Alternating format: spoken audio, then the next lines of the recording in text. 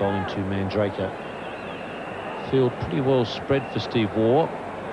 Quite happy to give the single to the uh, batsman who's in in form in Manjrekar and let um, Kumble have the strike and that's intelligent batting from Manjrekar.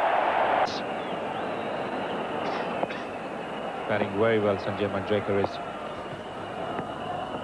And Ian Healy's caught him so Steve Waugh has done the trick as well. And that's 200 dismissals for Ian Healy.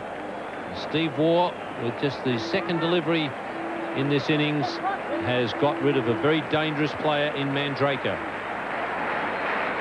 Manjrekar just feeling uh, for the delivery outside the off stump.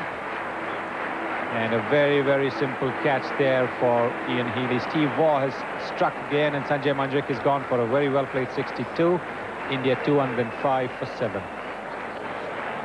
As a new batsman, and uh, that's his record, an average of 2.25, so no great shakes with the bat according to that.